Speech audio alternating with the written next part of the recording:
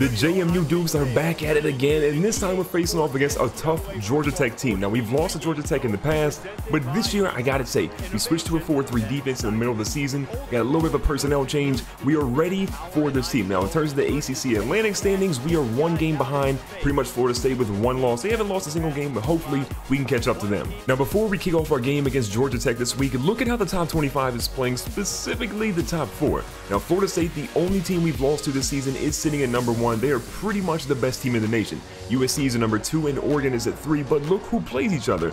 Oregon and USC square off at USC this week, so one of those teams is going to lose, and if we win our game against a tough Georgia Tech opponent, we're pretty much guaranteed to be into the number three spot. After us at four, you see Notre Dame, Ohio State, Alabama's in the top 10 now. Uh, you see Pittsburgh, Washington State, Tennessee, and Wisconsin were all unranked last week and came in, and UTEP rounds out your top 25. For your Heisman vote, not a single JMU Duke, and I'm not surprised with how many injuries and how spotty we've been this season, but Mike Weber, Tanner Mangum, AJ Bush, Ronald Jones II, and Taylor Alley are all up there in your top five for the Heisman vote. For those of you interested in a recruiting update, we have landed seven total players. Now we have Stuart Price, Dion Ostrander, and Caleb Cole. A lot of those guys you've seen before. We also have Seth Young, who's a JUCO transfer coming in. We have Matt Fields, who's an athlete at 5'11. We got Chris Cox, who's a 59 overall receiver. And you might be asking, why would you go get a 59 overall receiver? Well, look at his height. The dude is 6'6", 220 pounds. He's got pretty good speed, so if nothing else, he could be a cheap man's Randy Moss, which will be good, especially in the red zone. And then the last play we've landed so far is Eric Stewart. We got a free safety there. We have plenty other positions we're trying to get, but let me know in the comments down below, what position should I be trying to lock in for JMU next season. And we're going to start the game with Joe Disher, who on paper looks like he had a good game, but don't forget the turnovers that got him pulled out of the ball game. If you're Joe Disher for JMU right now, you have got to be hoping you can have a turnover-free game. That is desperately what this young fella needs. I mean, he's had too many turnovers, and the coaching staff, they're not happy with him. But even with Disher having two late and costly turnovers, he played pretty well. I mean, you got to admit, five touchdowns is nothing to shake a stick at. And here again, he's throwing it on the run. He finds Sean McMahon, who catches that one. What a dot at the line of scrimmage. JMU also found out today that they're getting Cameron King back next week. So if they can be patient this week, they will get their starting running back as well. So far, so good for Joe Disher. He has been lighting up this Georgia Tech defense so far. And look again, Drew Coates finding some room, and Drew Coates is now down inside the 10. We got a two-back set in the backfield. This one goes to Taylor Woods. Taylor Woods tries to find a little bit of room, but they stop him for a loss of one. JMU quickly has found themselves in third and goal territory. Now across the middle, we see Daniel, or we see Smith, Clay Smith, excuse me, not Daniel Clements. Clay Smith goes in for a 13-yard touchdown. Joe Disher on that drive had a couple of bad runs, but four for four, got the touchdown, and led JMU down the field easily. Georgia Tech moves under center, they go to the triple option, and this is what makes it so difficult, but a forced fumble on the first play of the game. Unfortunately, Georgia Tech ends up, you know, recovering that one, but what a hit by King Ortiz Jr. to set the tempo. Now, don't forget, on third and seven, Georgia Tech will see the 4-3 defense for the first time all season long for JMU. Now, the ball's over here. Oliver's going to whiff. Gene Jr. is going to bring him down, but at first down by Georgia Tech. Last time we had Georgia Tech on third down, it didn't really go so well. Now, we're going to try with a little bit of a blitz here. The ball's thrown out to the right, and it looks like he does not get his foot in. Rick Adams is one for four on that drive.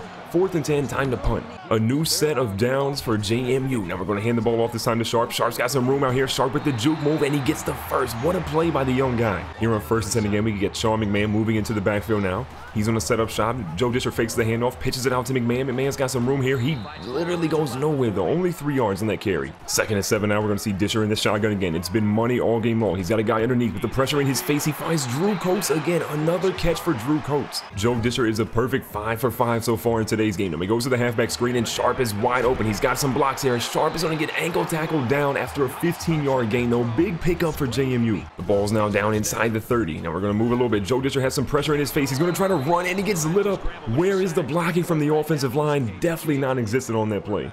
After a bad sack there, Disher's going to try to reclaim a little bit here. He's got Disher wide open in the flats. He's going to find him. Joe Disher go, oh, excuse me, Jordan Dawson's going to move a little bit. Jordan Dawson runs through people to make it third and one. What a big carry and gain by him. On third and short, Taylor Woods comes into the game instead of Trey Sharp, and Woods is going to get stopped. Loss of a yard there, making it fourth and two. Looks like a field goal for JMU. On fourth and two, JMU actually opts to go for it here, so they're going to keep it with Disher. Disher's going to go up the middle, and I think he actually got that one. A two-yard rush by Disher is just enough to get the first. Now Sharp is back in the ball game. Looks like he got banged up a little bit earlier. We're going to see an underneath round here to Clay Smith. Clay Smith already has one touchdown. He goes for the juke, and they bring him down at the five. Beautiful move, and nearly broke that one off for a touchdown. Now, Georgia Tech has been running the triple option all game long, so we're going to give him a taste of their own medicine and see how it works. Now, a good little fake here by Disher. He pitches it out to McMahon, and McMahon is stood up running a triple option against Georgia Tech, probably not the best decision. Setting up on second and goal, it's time for a passing play here. Now Disher again, rolling, rolling. He's got some pressure now. He's going to go over here. He's going to try to run it. Joe Disher keeps this one and he goes into the end zone. Most importantly,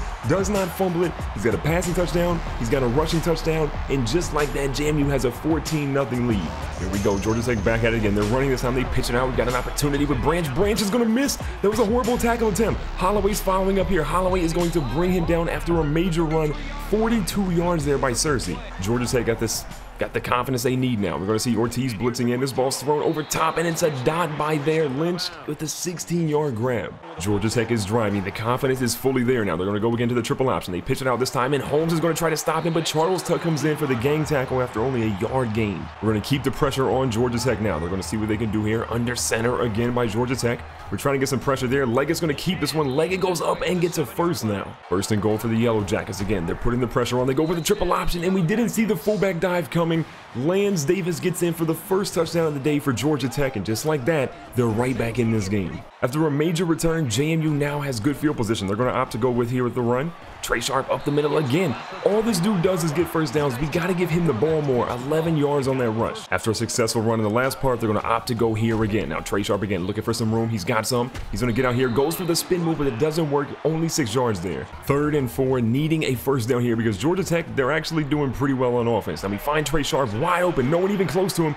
The double juke is nasty. He goes for a spin move, somehow gets back into the open field. What a 12-yard catch there to get another first for JMU. Two minutes left here in the first half, and JMU is continuing to drive. Now a pass in a dicey spot goes to Jordan Dawson, who catches it right there on the two. First and goal again for JMU. We're looking for something. We got Jordan Dawson rolling, but we can't get it to him. It's too late, and Disher is sacked for a loss of eight now. A bad sack makes second and goal from about the 11 now. Again, JMU driving. Got an opportunity to pass across the middle. Goes to Clay Smith, who catches that one. Clay Smith, a big-time player, is making 20 big time plays, two touchdowns in the day for Joe Disher, a perfect 11 for 11, way better than he's been all season or in his career.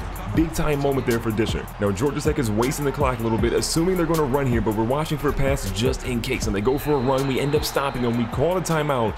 Now we got an opportunity to get the ball back with 30 seconds left and make another score happen. Even though Joe Disher has played extremely well in this game, we've seen it happen before, specifically last week. Now, here we see him find Clay Smith, and Clay Smith is going to move down to inside, I believe, the 30. What a play. Another big play by Disher. And again, we're trying to keep the mojo going for Joe Disher. He's got an opportunity here. He's going to float one inside. It's going to be close, but it's picked off by Hill.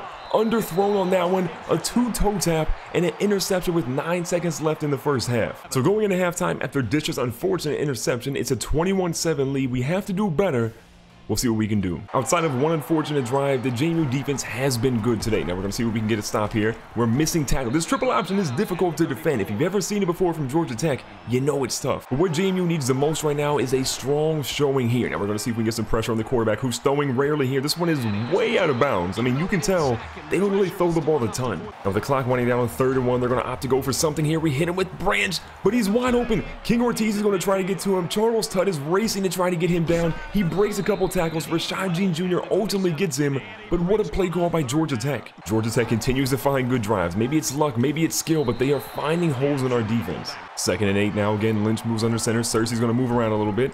A little bit of a fake there. Somehow Lynch is to keep this one. He pitches it out. He might get into the end zone here. Branch is our only line of defense. The hit stick does not work, and Clinton Lynch, on a miraculous play after the pitch by the quarterback, gets into the end zone. A team like Georgia Tech is difficult to defend because no one else really in the country that you play against runs that sort of offense. You don't really game plan against it, and then you find yourselves just getting exposed time after time. Now, Henry Castle out here with the juke and then absolute destruction. I mean, Henry Castle killed on that play, but he seems fine, 27 yards. It's imperative that JMU continues to score, however. Put some pressure on this defense, put some numbers on the board, and just find holes in this defense. Now, Clay Smith is out here running, breaks multiple tackles. He's off to the races and down inside the 15 after a 41-yard grab. Now, Sharp's in the backfield with Disher. We're going to go to a halfback draw. It looks to be wide open, but Disher is, excuse me, Sharp gets tackled after three. We got second and seven out. Again, inside the 10. We're going to hand it off to Trey Sharp, who's got some room. He's going to try and get into the end zone, but they drop him just shy after a nine-yard gain. First and goal now. Again, Sharp in the backfield. He's going to get some room here.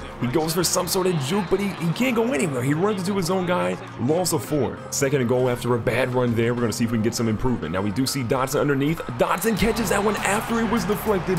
Five-yard touchdown reception. Could have been picked off, could have been dropped, but Jordan Dodson, the most reliable hands in the team, gets an, a score in the end zone to make it a two-score lead. We've got to get pressure on Georgia Tech and figure out this rushing attack. Now, Leggett is out here just moving all over the place. The agility he has is insane. First and 10, trying to find some way to stop this triple option. And there we go. We had an opportunity to get it, but we could not stop him. Rick Adams is finding seams, the fullbacks are finding holes, and we just can't stop them. We have to find a way to plug the middle and stop this triple option because if we don't, Georgia Tech is going to continue to run at it. They're pancaking everyone on our team. We need a fumble or some kind of turnover. At this stage, the only chance we have to stop this is to go to a goal line defense no matter where we are. So look, we're trying to stop, and what a choke slam there on the edge. It finally worked. We found a way to stop that rushing attack. It seems like we may have found a defense to finally stop this triple option. Now again, we're going to see what we can do here. But oh no, we're not going to be in a good move. What is happening? Rick Adams literally tore his ACL twice somehow on that play. I literally no answer for how that man scored. No matter what the JMU defense does, even calling goal line, they have no way to stop that triple option attack. So our only course of action right now is to just keep scoring on offense. If we can keep doing that, we might just be fine. Now, Disher is scrambling finding some room, gets the first down, and smartly, because he doesn't want to fumble again, gets out of bounds like a veteran quarterback should. Third and eight, and Disher needs to make sure this offense gets a first down. They are desperately in need of one. Now, they do have a guy wide open here. This one is batted away at the last second. Smith was wide open. The pass comes in a little bit eight, and we're to be forced to punt it on fourth and eight. So going in the fourth quarter, that lead we had that was two touchdowns is down to one. We didn't get the third down conversion, and we might be in trouble. At this point, we're focusing all of our attention on the quarterback and the running backs. The receivers, we have to imagine they aren't really going to do much to us. Now we're gonna we look we look for the pitch man there and it didn't work. Brand, what is this? Rick Adams just breaks tackles non-stop. This is a robo QB if I've ever seen one. We're trying to find some sort of defense to stop this rushing attack, but it seems nearly impossible. But what a hit by Branch on Searcy. Moving into the pistol now for Georgia Tech. Looks like a little bit of a run here by the QB, but Maurice Cole is there to stuff him in the backfield to make it third and 10. Big stop by the JMU defense. We're going to see if Georgia Tech actually passes or if they stick with the running game, which has been working all game long. But they are actually passing here. Now a pass goes through and a huge hit and a huge catch. Brad Stewart holds on to that one at the highest point. This game is coming down to the wire. With four minutes left, Georgia Tech is knocking on the doorsteps of the end zone. So again, Adams under center, goes a little bit of a, a, play fake. He gets stuck there in the backfield. We're trying to get anyone to him. He falls down, trips over his own lineman, and it's a loss of seven. We find ourselves at second and long now for Georgia Tech. We're trying to get out to the edge, but a huge hit off the edge this time. Rick Adams somehow gets stuffed to make it third and 20. Big hit by Holloway. So at third and 20, Georgia Tech definitely has to pass here. No chance they're going to actually run the ball, right? Adams here in the pocket. He throws it, and Aries Cole is back in pass protection. Somehow makes a huge play. He's a lineman, can't make the interception, but now it's fourth and 20. Now, JMU sees they line up for a field goal, but we're a little skeptical if they're going to fake it, what they're going to do with it. So we're going to drop Branch back just in case he can actually catch this one. And this one's going to be close. Branch is right there, but he misses it. He misjudges it, just like Georgia Tech misjudges that field goal, and that one's going to be a miss. Keep it going now, JMU. Get the offense going, get some first downs here. Now, Trey Sharp out to the edge with a nice juke inside. Again, staying bounds, which is the smart play. JMU is looking to waste some clock here. Disher again at the line in shotgun. We might have Jordan Dodson wide open here. We're going to throw it over. We float that to Jordan Dodson. Jordan Dodson's got the wheels and he's pushing down the sideline. He's breaking a tackle, carrying a defender inside the 10. And just like that, JMU is exactly where they want to be, nearly in the end zone again. Now that we're inside the red zone, Georgia Tech has used their first timeout. So here we go. Second and goal, giving the ball to Trey Sharp. He's going through the middle. He has the ball, gets dropped after a four-yard gain to make it third and goal. Another timeout for Georgia Tech. So third and goal. If we can score, this game is over. Now up the middle for Trey Sharp, and he's into the end zone. A three-yard touchdown run for Trey Sharp.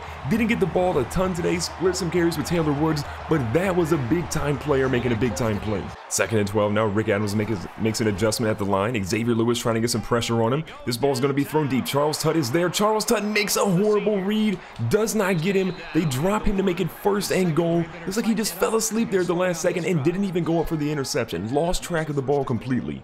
JMU is bringing the house on this play. What are they going to do? QB sneak, fullback dive? Looks like a sack there by Curtis Holmes. Second and goal now. This game is not over yet, and JMU is trying to keep Georgia Tech out of the end zone. So we're watching for the fullback dive. Looks like Rick Adams cannot go anywhere, and another stop of him in the backfield. Big time play by JMU again. Third and goal. Will they run it? Will they pass it? What are they going to do now? They go with the QB. read and Rick Adams gets into the end zone. Three yard touchdown run makes it only a single score game now. Georgia Tech lines up for the onside kick. If they get this, we could possibly be in trouble, but this one is going to be bobbled around. This one is recovered by Georgia Tech. Unbelievable. It hit multiple JMU players, but they couldn't come up with it. This could be a horrible upset for JMU if they don't come out here with a win, especially because they're playing at home. And this one's going to be close. Again, Rick Adams out here throwing a ball. That one is dropped at the last second.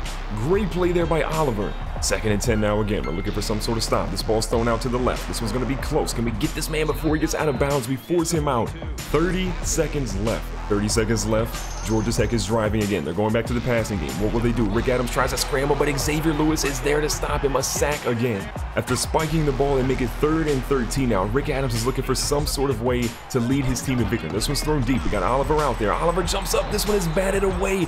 Huge play. Thankfully, Charles Tuck wasn't there because he may have messed that one up out. This is down for the last count. This is the game right here. Can JMU get a stop when they need it the most? And this one's going to be close. This one is nearly caught, but they turn it over. That is a ball game, folks. After a game that was way too close for comfort, JMU still got the W, which is all that matters. Now, Joe Disher goes 16 of 19, three touchdowns, one interception, which really wasn't his fault. It was kind of a Hail Mary into the end zone. Got sacked twice, but still good performance overall by Disher. On the rushing game, we saw Trey Sharp go for 56. We saw Disher go for 12, McMahon for 2, and Taylor Woods didn't really have the best game. In the air, Clay Smith was by far the best receiver this afternoon. Five catches for 106 yards, two touchdowns, followed by Jordan Dodson, who got in the end zone. Drew Coates had a solid game, as well as Trey Sharp, and then Henry Castle and Sean McMahon both had big catches of their own. And on defense, we saw Curtis Holmes with eight big tackles, three of them being for a loss. A lot of those coming at the end of the game. King Ortiz played pretty well. You saw Charles Tubb blow a huge pass play, but still, he got the job done when he needed to. From a sack perspective, Xavier Lewis had two, McClendon had one, and that was pretty much it. From an interception perspective,